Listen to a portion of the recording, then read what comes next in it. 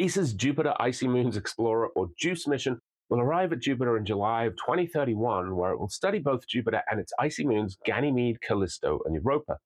The ultimate goal of the mission is to study the system as a model for gas giant planets everywhere, and its suite of 10 instruments will characterize Jupiter and three of its moons in great detail with a focus on the potential for huge bodies of liquid water below the icy surfaces of the moons that could potentially support extraterrestrial life. The mission launched in April of 2023 on its eight year journey, so why are we talking about it now? Well, JUICE just successfully completed a flyby of Venus. Why in the world is this spacecraft zipping around Venus in the inner solar system when it's supposed to be headed in the opposite direction to Jupiter? JUICE is getting a gravity assist from Venus in order to reach Jupiter while burning the least amount of fuel possible. JUICE already grabbed some energy from the moon and Earth back in 2024 when it performed flybys and was able to test all of its instruments. For the Venus flyby, the instruments were shut down to protect them from the harsh environment, so sadly we don't have any pictures. But JUICE will now head back towards Earth for two more gravity assists in 2026 and 2029 before finally heading out to its destination. You can see the trajectory on screen with the yellow dot of the Sun in the center. Venus is the yellow circle, Earth is blue, and Jupiter green. How does a gravity assist work? The spacecraft is using its gravitational interaction with the planet to change its direction. With respect to the planet, that doesn't seem to achieve much, looking much like a zero sum game as the spacecraft approaches and then leaves the planet's influence.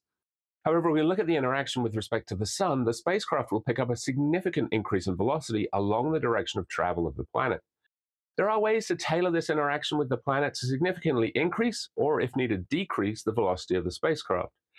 This is a change in velocity that doesn't cost any precious fuel, and by carefully setting up a series of gravity assists with different celestial bodies, the spacecraft can reach its final destination. That's a super quick and dirty sketch of what's happening. If you want more details, there's a ton of great resources on the web. JUICE gave its operators a bit of a scare back in mid July when they lost communication with the spacecraft from the Deep Space Network stations on Earth. Engineers ended up blindly sending commands up to the spacecraft 200 million kilometers away, hoping they'd be received by one of the array of antennas, since they suspected the main communication subsystem wasn't functioning correctly. Fortunately, after about 20 hours of trying, the spacecraft responded and it was back on track before its flyby of Venus.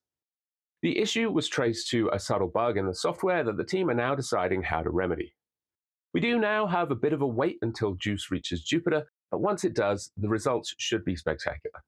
That's today's video. Please like and subscribe if you enjoyed it. I will catch you in the next one.